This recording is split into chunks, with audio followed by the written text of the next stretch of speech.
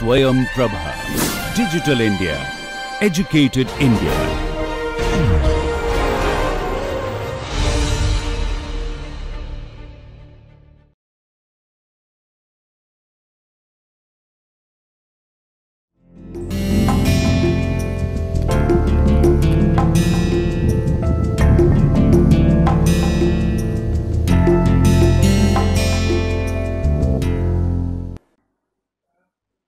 Dear learners. Welcome back once again to the uh, very fantastic lecture series on uh, Introduction to Science Fiction Studies.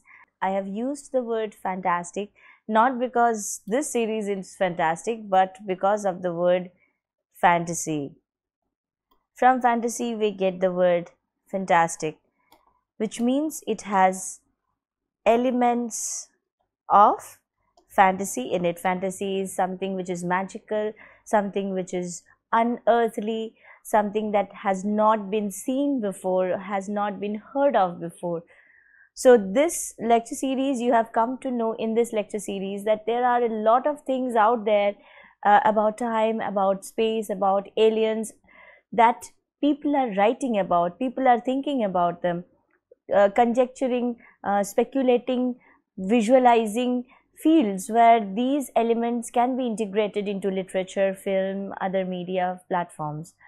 So, science fiction studies most of all tries to bring those fantastical elements along with the explanation of science. Sometimes there are elements of scientific truth which we have not witnessed before in our eyes, but they are there out somewhere. Right, so we will begin this lecture on eugenics, genetic engineering, and science fiction. On this note that even if we don't see or don't know about it or don't talk about it in day to day life these things actually exist and is in the uh, path of development evolution of the species of human beings. So let us first try to understand what is the meaning of the word eugenics.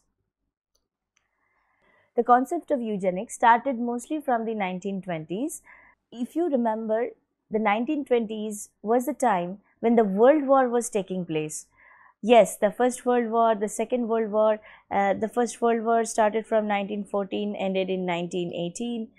The second one was started in 1939, ended in 1945. So, this particular gap, 1918 to 1939, during this time, eugenics was something people were talking about, people were discussing, and mostly related to the war prone reality of that time. So, we will also know why this is like that in some time. Let us first go and understand the word eugenics. If you open Merriam Webster's dictionary, you will find that the practice or advocacy of controlled selective breeding of human population now, first of all, we have to understand what is meant by breeding of human population. Does it not include or is it some way different from reproduction? Because reproduction is actually something very akin to breeding, right? But why does, why are we using breeding instead of reproduction? Well, reproduction is a natural process. It has no common purpose yes of course uh, subconsciously we all reproduce so that the human race can continue on this planet. But when we say the word breed it has a different connotation. It has a, animal like behavior attached to that particular word. So breeding we use in case of domestic animals mostly dogs cats uh, cows we use the word breed in their cases. When they reproduce we say breeding.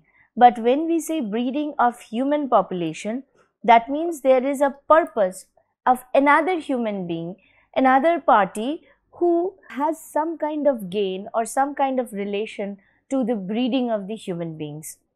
As by sterilization, so controlled selective breeding. Now, this is the other part that I am going to talk about. What is controlled breeding? Well, if there is a party or a government which is in power and they are asking their citizens not to reproduce at a particular time or to reproduce at a, another particular time or to keep at least uh, one or maximum two children. I'm sure by the time I'm saying this sentence, you are remem- remembering one or two countries of the world, right? Where uh, this thing is uh, practiced, especially in China. You cannot have more than two children. Anyway, so let's come back. Here, that means that environment does not support natural reproduction. So if a person wants to have more than two children, what is that person supposed to do? That person does not have the sanction of the government. He or she cannot have more than two children. So that is controlled breeding and it is not something which is natural, right? It is different. It is some human intervention into other humans' reproduction system. In 1883, Francis Galton, a British individual, coined the term eugenics to encompass the idea of modification of natural selection through selective breeding for the improvement of humankind. Now we have another parameter to this selective breeding. Improvement of humankind. What does that mean? How can you improve a humankind? We can improve a system, we can improve a machine, but what does it really mean to improve humankind? Well, uh, this is a quotation from Jeremiah A. Barondess, and uh, you will find this in Merriam Webster's dictionary as well. We will talk about the improvement after we go through another definition. A half century ago, eugenics became associated with Hitler, genocide, and master race theories, and its reputation has never recovered. This is something Dan Seligman says. So, when one human being thinks that this is the standard, suppose there are two human beings. This is human being A, human being B.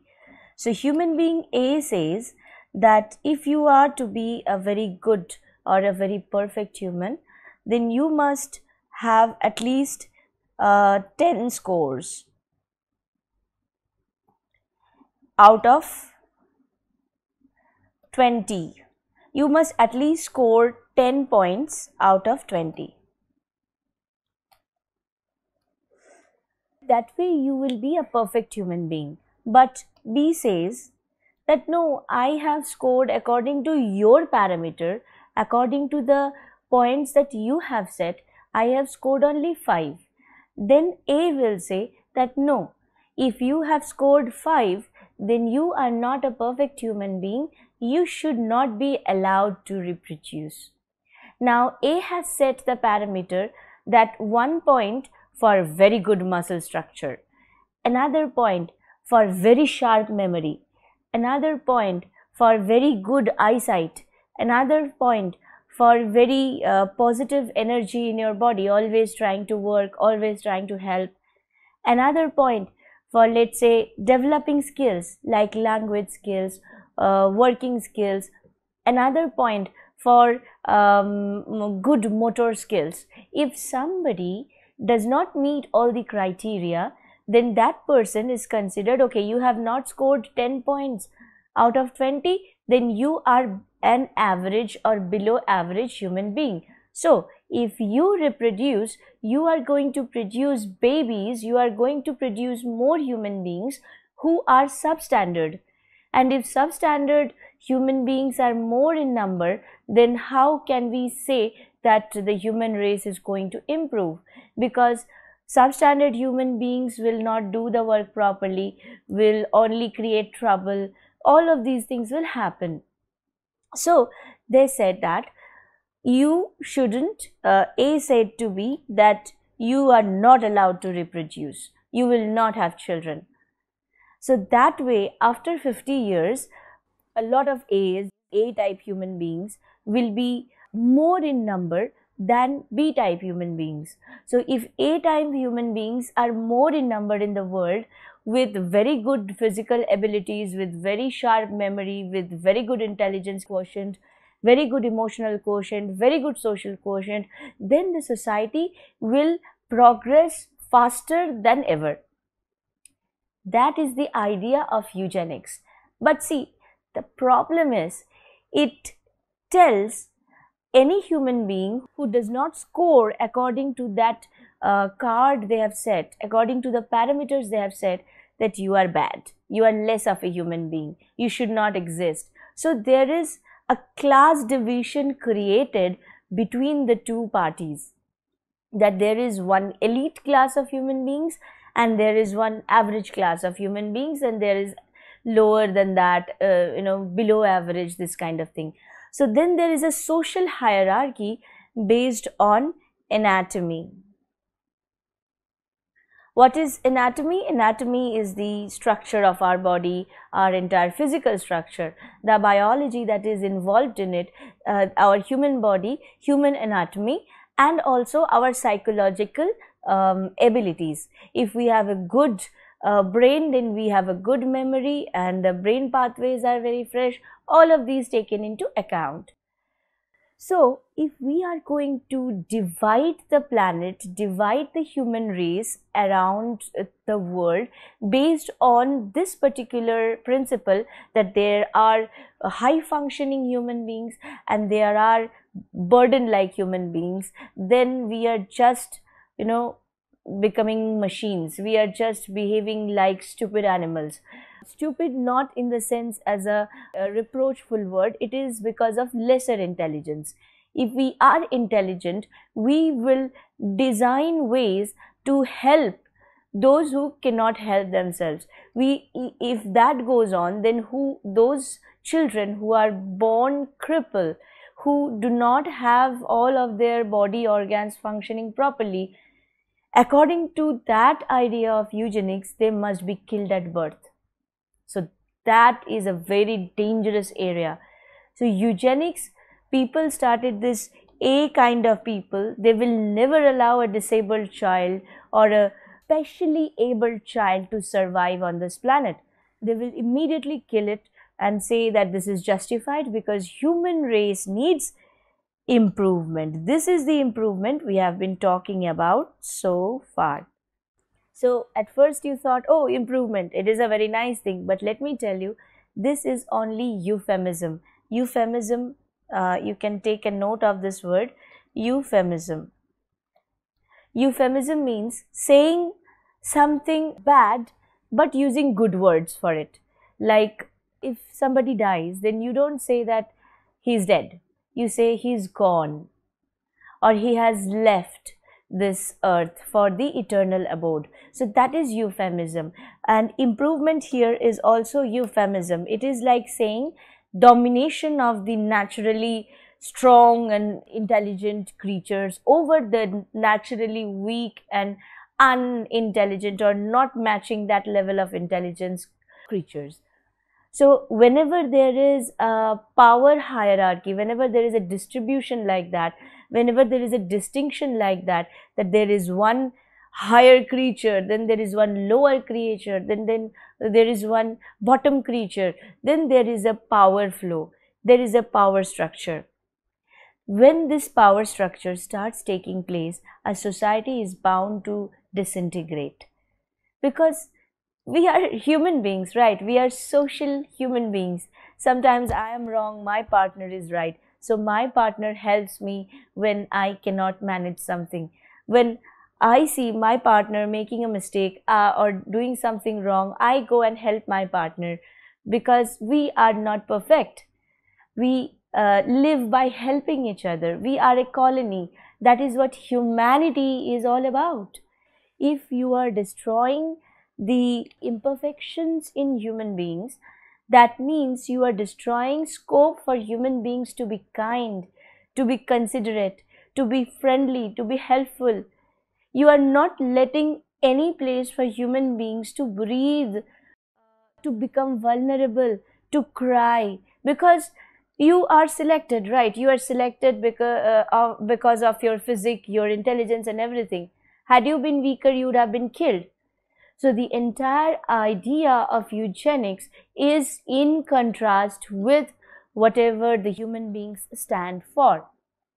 I'm sure by now you understand the entire scenario. So first of all, it, it comes like a very rosy kind of thought that eugenics is good. It wants the human species to improve.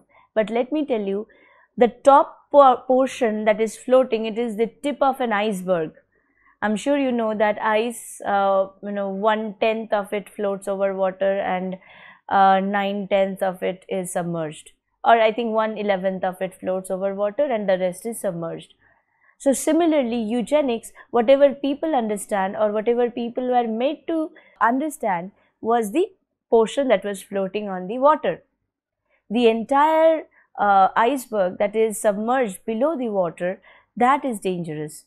That calls for people killing other people, right? So moving on to after the Second World War, eugenics became a word to be hedged with caveats in Britain and virtually a dirty word in the United States where it had long been identified with racism.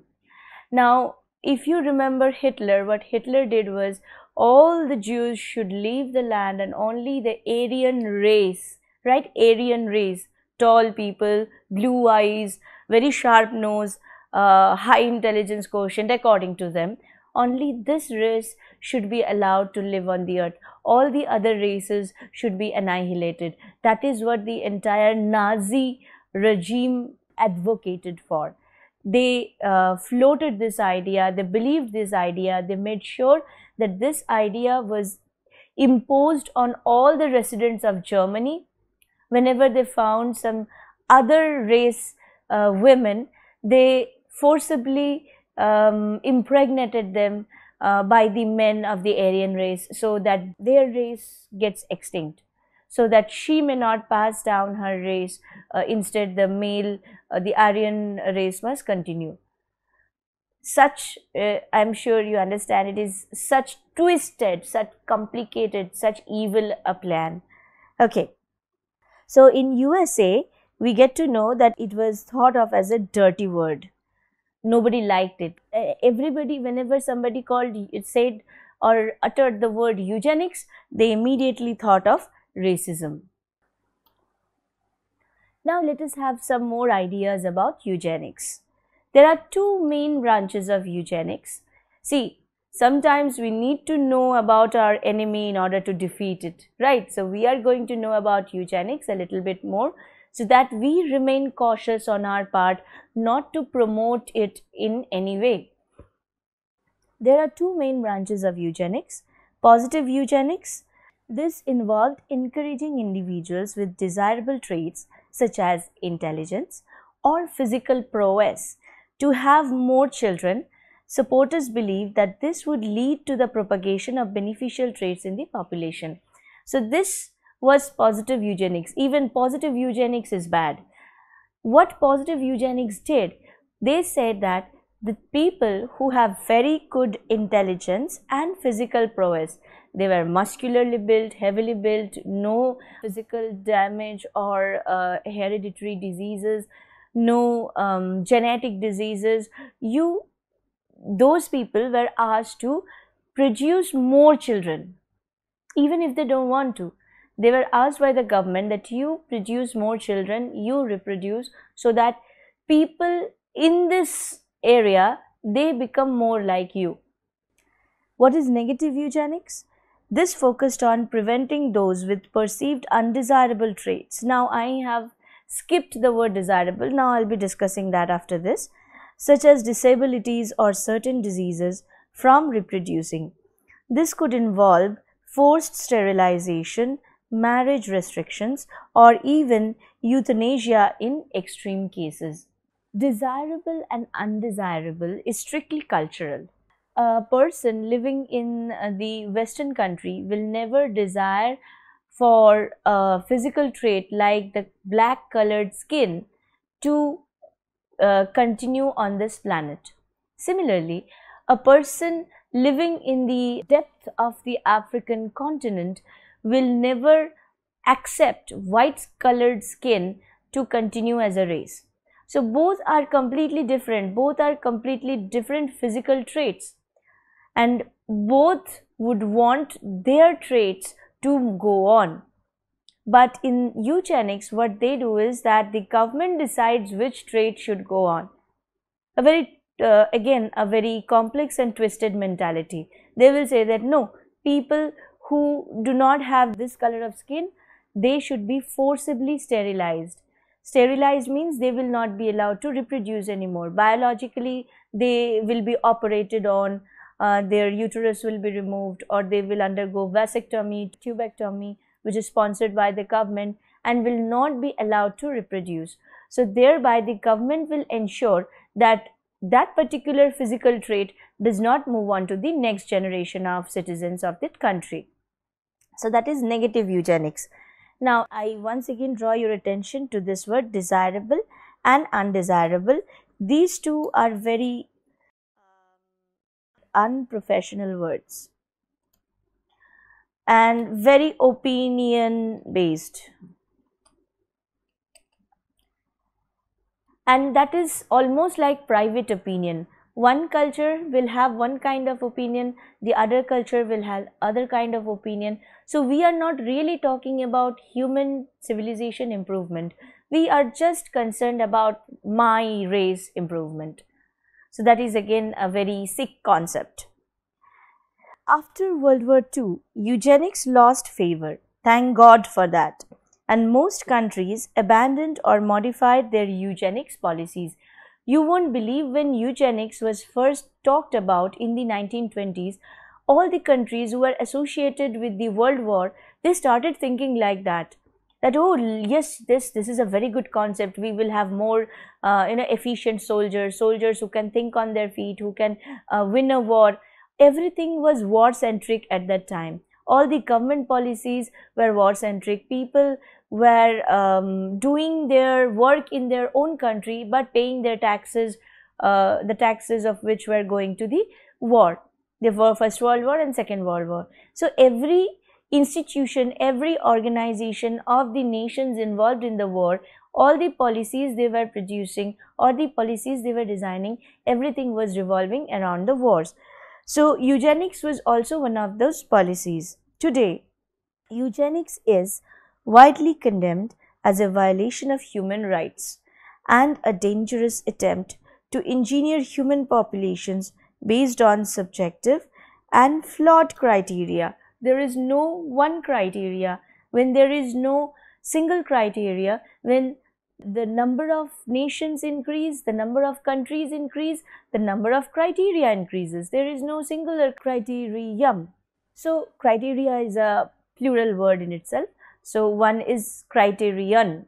So criterion is a singular word, criteria is a plural word. So it is completely subjective.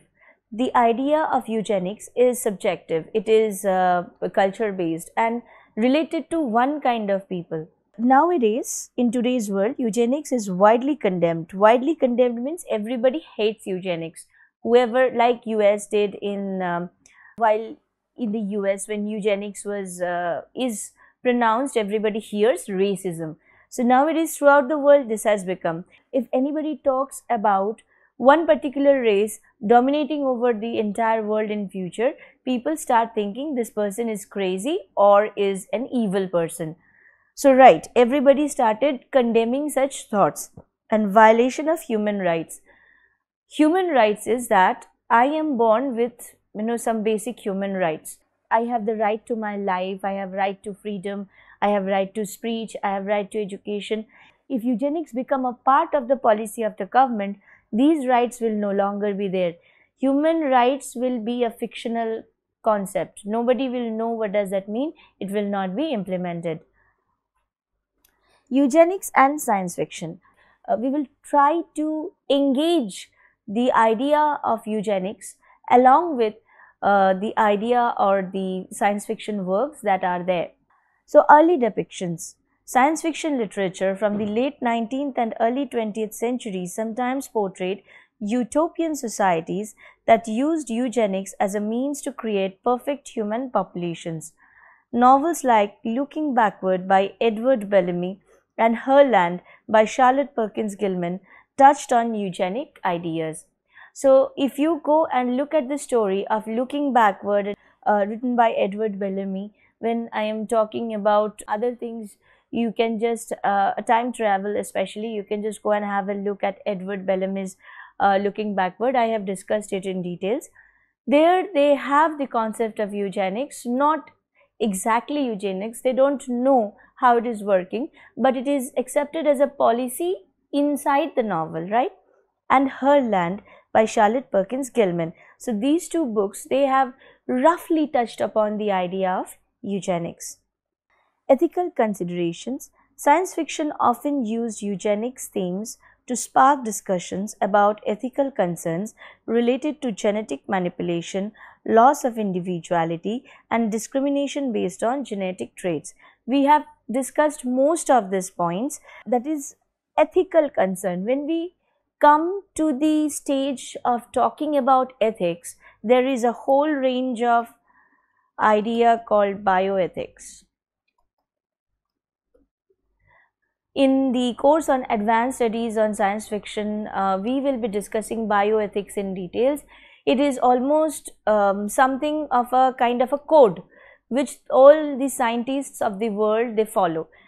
You cannot clone a human being. That is what bioethics says. Because if you clone a human being then it will there will be so much complications that you will start thinking because there will be questions like whether the person is a citizen which one is the original which one is the clone and uh, the health complications are a completely different thing. And if it is a human being it will have human rights.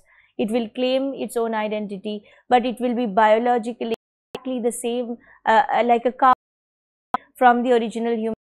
What will we do with that carbon copy? How will the legal system um, wrap around this kind of identity. So lots of questions are there and therefore bioethics have come to this conclusion that no you cannot clone a human being. There will be no reproductive cloning.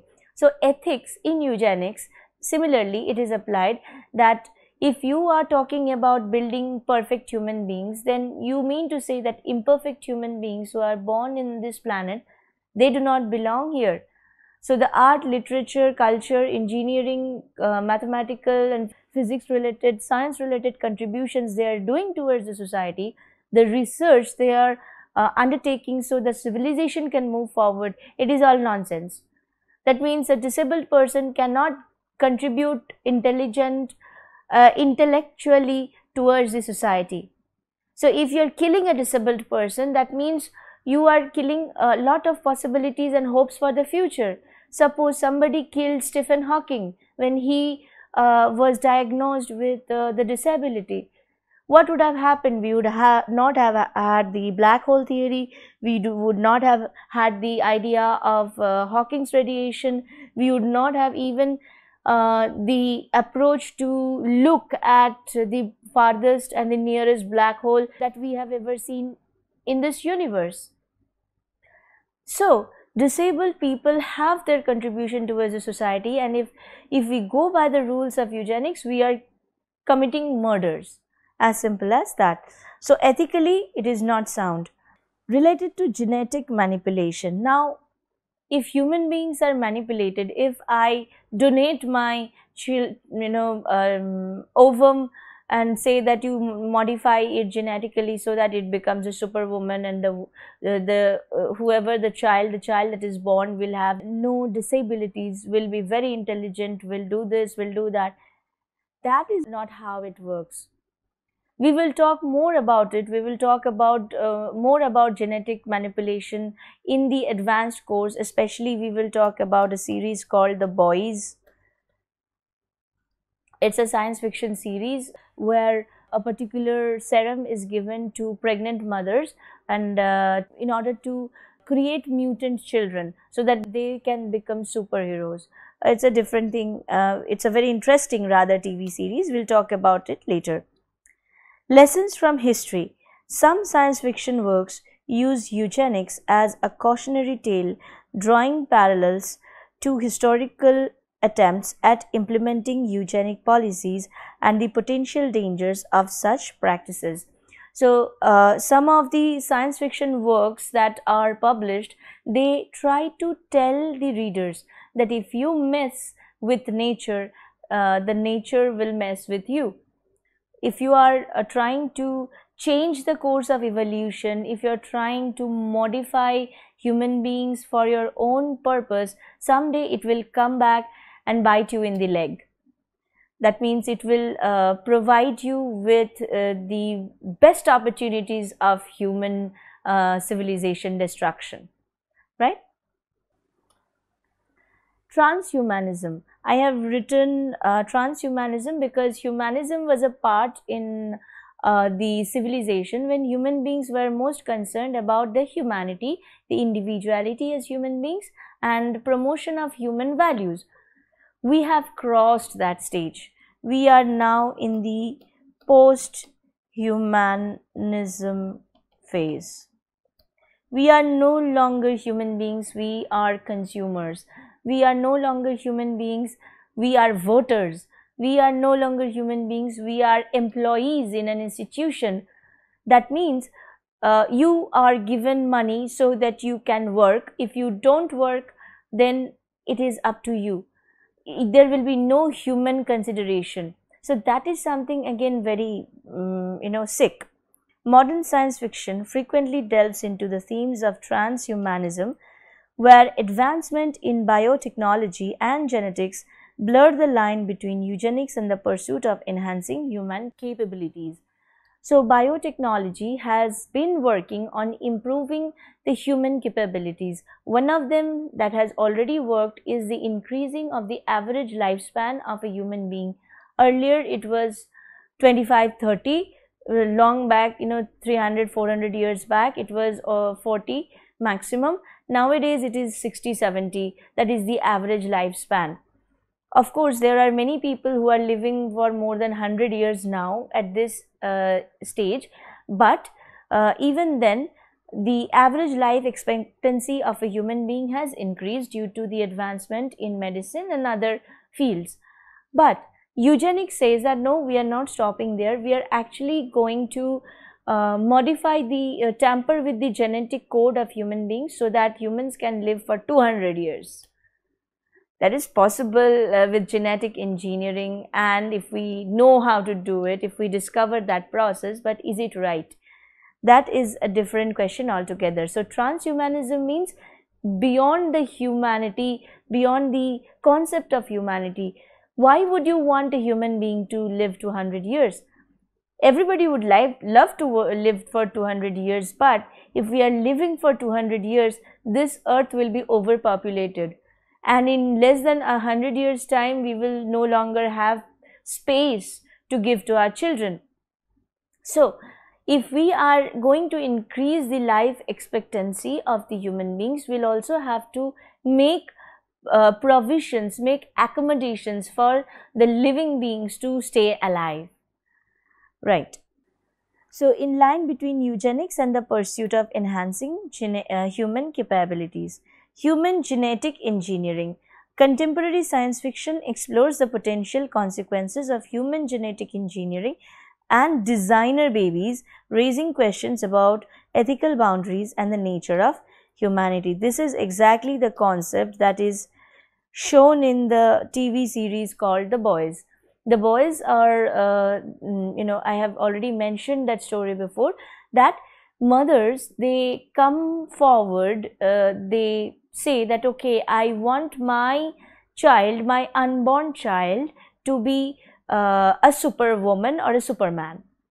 So the company they give the mother some money and they inject a liquid into the um, fetus that is growing inside the mother's body and wait that what the liquid is going to do is it is going to create some kind of mutation in the genetic code of the child and the child will develop superhuman qualities perhaps the child can develop uh, a quality to run faster than everybody or can develop uh, some sort of uh, um, you know superpower of shooting laser through the eyes or maybe control electricity, control fire, control wind, control water. So all of these things can be a part of um, you know the project this particular company has undergone.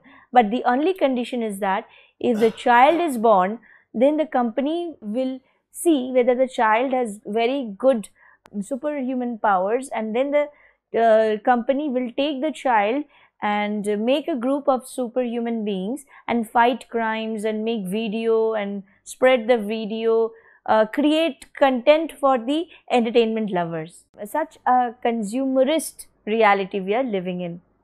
Some science fiction works with eugenics as a part or a subpart directly or indirectly within their narrative. Number one, Brave New World. When we were talking about dystopia, when we were talking about Huxley, we have paid a special tribute to Brave New World because this is one of the best sellers ever. One of the best kind of literature that has been ever written on dystopia, on genetic modification, on classifying human beings based on their uh, you know abilities.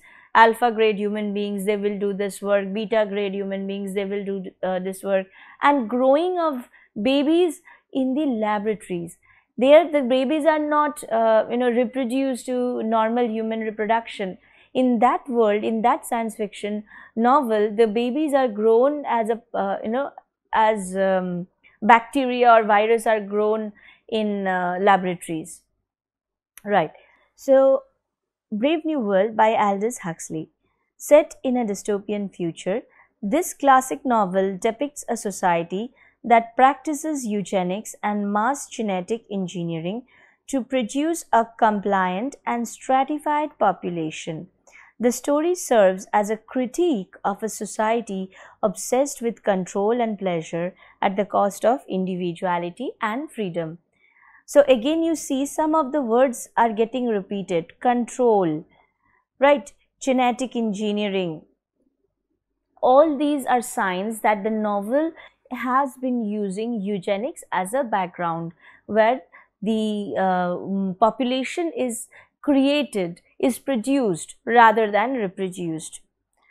To produce a compliant and stratified population. Compliant means your biology is your destiny. That is the idea this novel is giving. That because you are born as a beta, that means you are a factory worker. Because you are born as an alpha, that means you are an office goer. Because you are born as this kind of uh, human being, therefore you should go to uh, serve the ministry. So this kind of uh, stratification has already been done before the birth of the child. More Than Human by Theodore Sturgeon. This novel explores the concept of genetic mutation and telepathy. A group of individuals with different abilities come together to form a gestalt entity. But the story warns against the potential dehumanization and loss of autonomy that could result from tampering with human genetics. So, More Than Human, the novel written by Theodore Sturgeon, and it revolves around the idea of genetic mutation. Mutation is the process of, uh, let's say, um, when the protein that is inside the DNA chain of a uh, the, the, double helix, it is uh, when there is. So, let me give you an idea how a DNA looks like.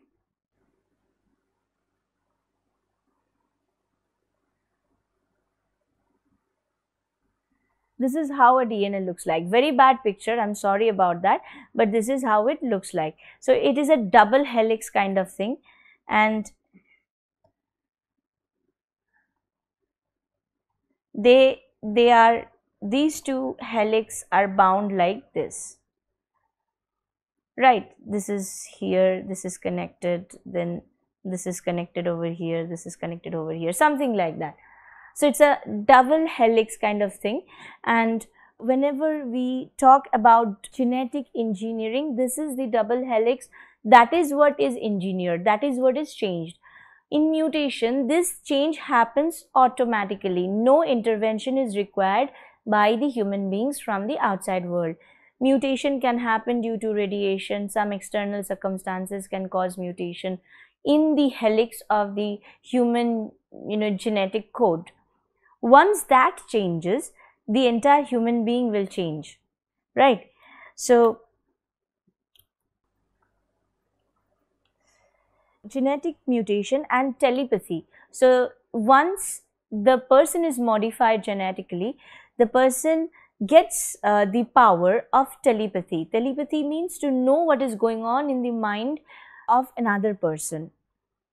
A group of individuals with different abilities come together to form a gestalt entity but the story once again so a group of such gifted people such people with genetic mutations and everything they come together they form an entity but the novel does not only talk about the good things but also the consequences of such modifications.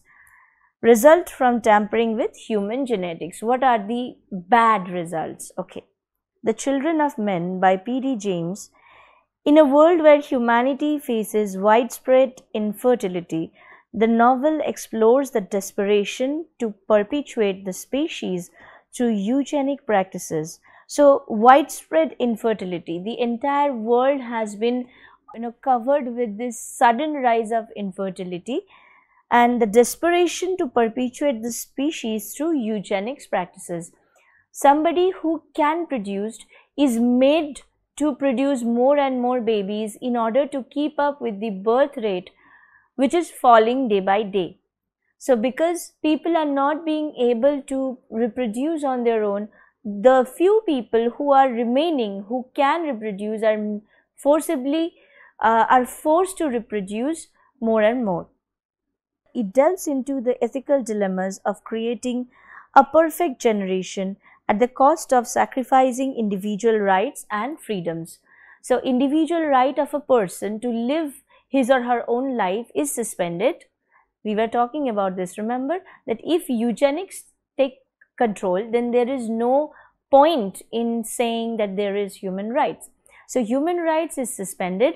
The person who can produce, who has not become infertile, that person is forcibly made to reproduce.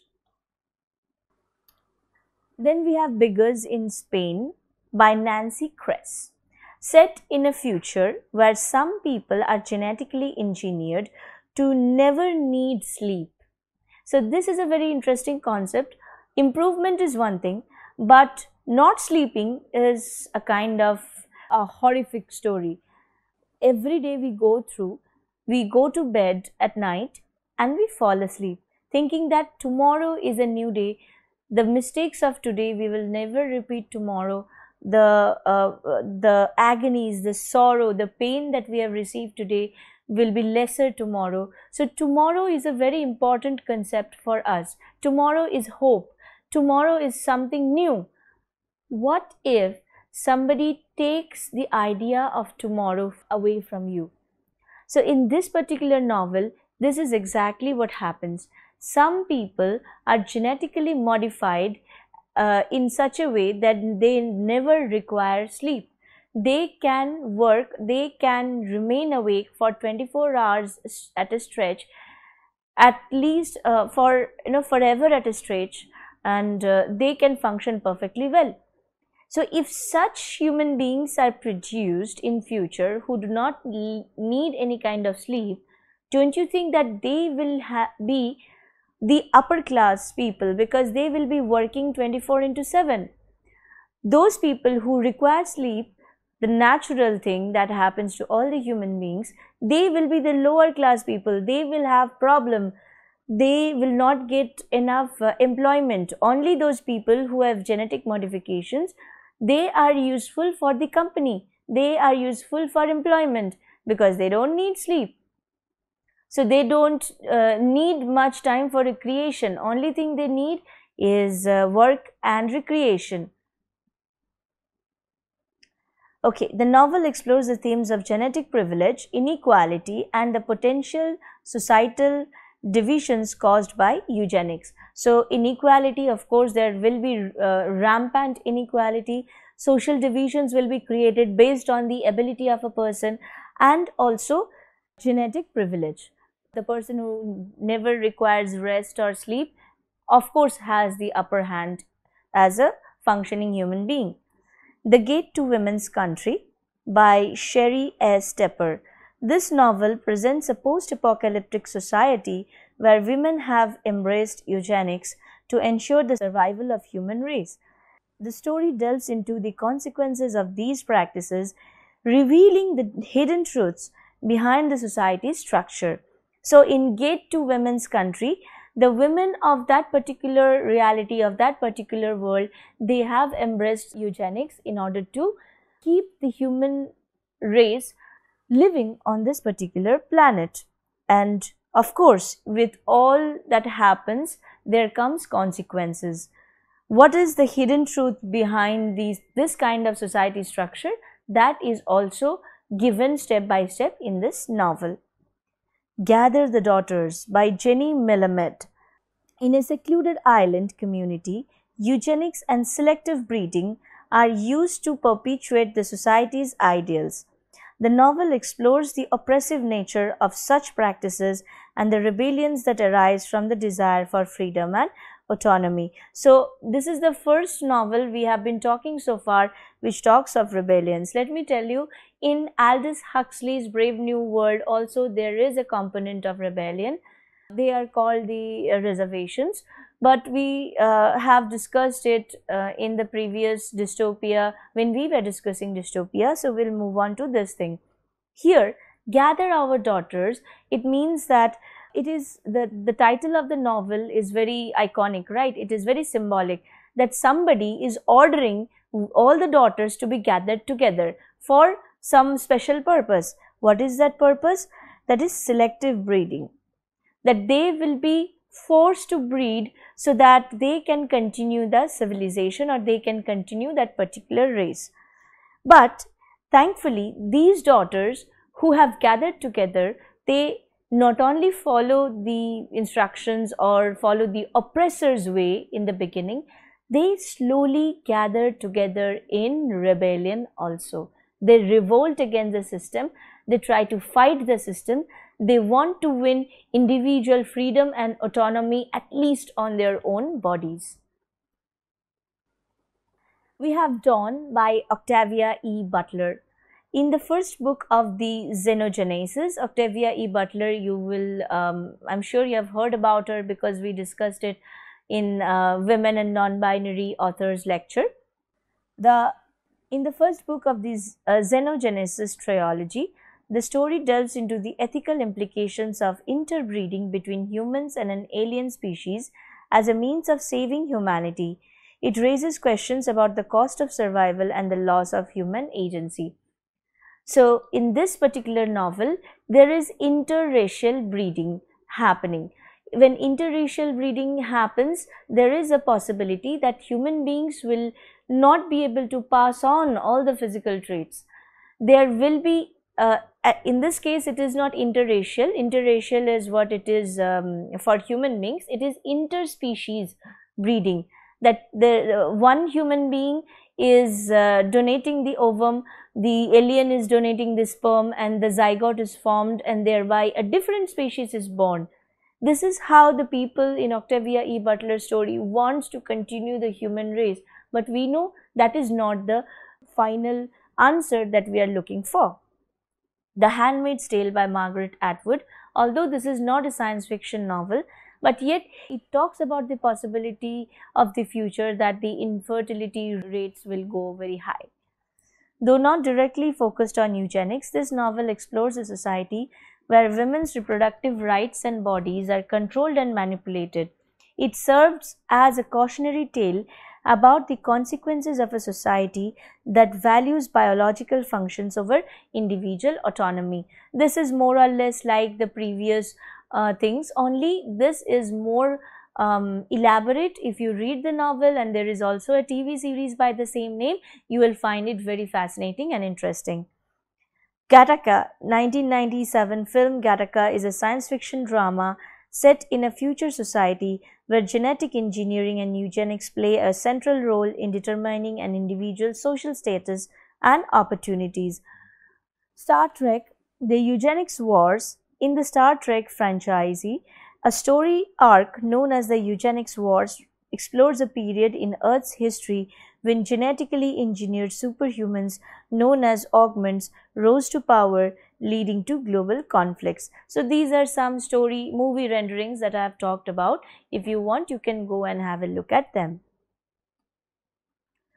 Now we come to one of the most fascinating parts of this particular lecture. We will be discussing gene editing and uh, CRISPR and Cas protein uh, technology. So the idea of CRISPR, this is actually uh, technological advancement that has been discussed in recent science fiction literature, movie, arts and media. Before moving on to those kind of representations, we just have to have an idea of what it is. What is genetic engineering? How do we do it really? So the full form of CRISPR over here is clustered, regularly interspaced, short palindromic repeats. I'm sure you don't understand. I don't understand either. But this is the full form and it is a biological term which is used for some kind of protein which acts like a scissor and another protein which acts like a stapler.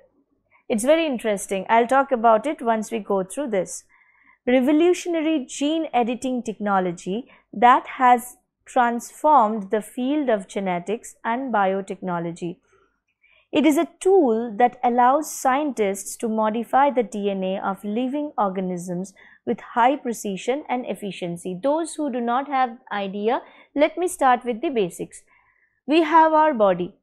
In our body, we have 10,000 to 20,000 DNA moving around in our blood system here and there, going, doing, or checking here, checking there what is DNA? DNA is that formula or that particular combination which is a combination of proteins. It has, I'm t I was talking about the double helix, right? So it has a formation like this and there are proteins which um, connect the two coils, double helix loop. These proteins, they have the information of what is to happen next that means, how am I going to grow? If I am born as a child, how am I going to grow? Will my hair grow very much? No. One protein says that no. Her hair should grow as much as her mother's hair grew because she has uh, uh, that kind of hair. So the protein knows that her mother had that kind of hair. So this child will also have that kind of hair. So her hair will grow till this much this information, this code is embedded in our DNA. This DNA also tells how much time will I live. Shall I live if I don't of course die of an accident or something. This DNA knows exactly how much is the duration of my life. So after some particular years, it will signal that no, enough is enough, all the organs have failed, now uh, die. So it is the coded language, it is a code in our lifetime that is over there, right? So when we, when we talk about editing that code, suppose I edit the DNA and say that no, instead of dying at 100 years, I am going to die after 150 years. If I can do that, if I can identify that which point at which protein this particular information is there, then I can go and modify it. First of all, I will cut that portion with a scissor, then I will staple another kind of protein inside that DNA and uh, the DNA will go around and create other DNAs and everybody will know oh, she is going to die at 150. So, we will you know put our uh, first leg forward and keep her alive till 150. I am just giving you, you a rough idea. This is uh, what a non science student understands by CRISPR. If you go and study CRISPR technology, you will be fascinated by it. Okay. Scientists have harnessed this bacterial immune system to perform gene editing in other organisms. They use a modified RNA molecule called single guide RNA that directs the Cas protein to a specific target DNA sequence the Cas protein then acts as a molecular scissor to cut the DNA at the desired location.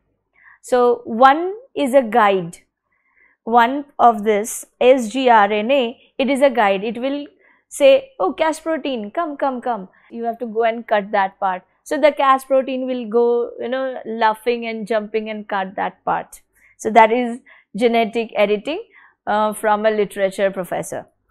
DNA repair mechanisms. Once the DNA is cut, the cell's own DNA repair mechanisms come into play. This can lead to various outcomes such as gene knockout, inactivation, gene insertion or gene correction. So, once the protein that particular genetic part is cut out, then actually the stapler that is used, the own cell which is carrying the DNA, that cell has its own stapler. It will immediately recognize that that gene, oh my god, it, some of the portion is cut out. Let me go and staple now because it is create some problem. So it will go and put in some other protein and staple it. Now this can be a good protein, this can be a bad protein. So we don't know. So we can edit but we cannot make the final editing. Okay, it is up to the cell really. These are some science fiction movies which are based on genetic editing. Splice, in this science fiction horror film, genetic engineers uh, use CRISPR technology to create a hybrid creature by combining human and animal DNA. The movie explores themes of scientific ethics, parental responsibility and the consequence of pushing the boundaries of genetic experiment.